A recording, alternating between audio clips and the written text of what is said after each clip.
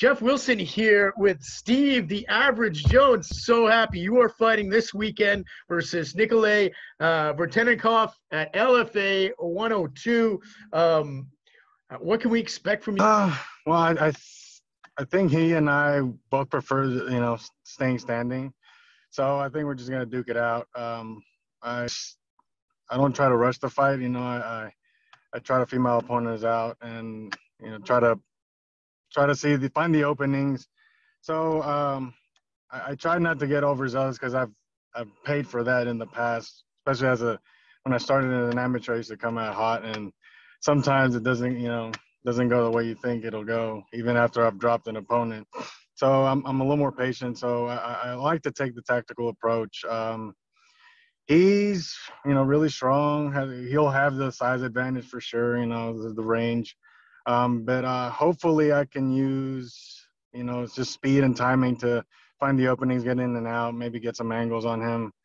Definitely have to watch out for his kicks, and he has a hard right. So, but other than that, I, am I'm, I'm I really want to I really want to finish this time. So I've had a couple decisions back to back. So I, I'd, I'd hope to get a, a finish, and yeah, I just think we're, we're just gonna find a way to slug it out. Walkout song are you thinking about coming out to? Uh, Fuego del Calor with uh, Ozuna, I think it's, uh, and uh, I've never used it before. You know, it's a it's fairly new song, and um, I, I don't know if it.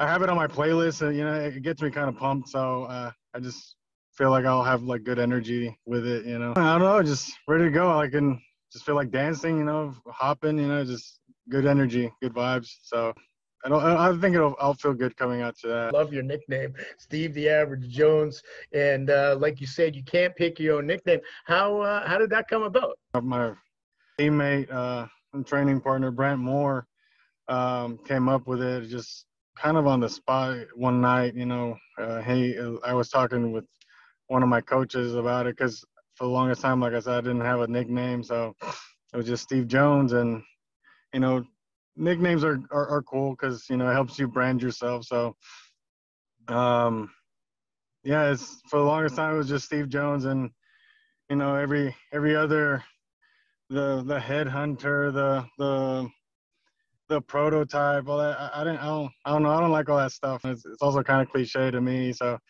um, so I turned to Brand. You know, like, hey, Brand, you know, give me a name, and he's like, Steve the Average Jones, baby, the Average Jones. And I was like, I like it.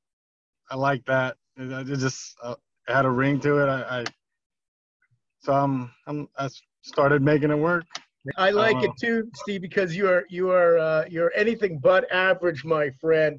Uh, I'm super excited to see you this weekend at uh, LFA 102.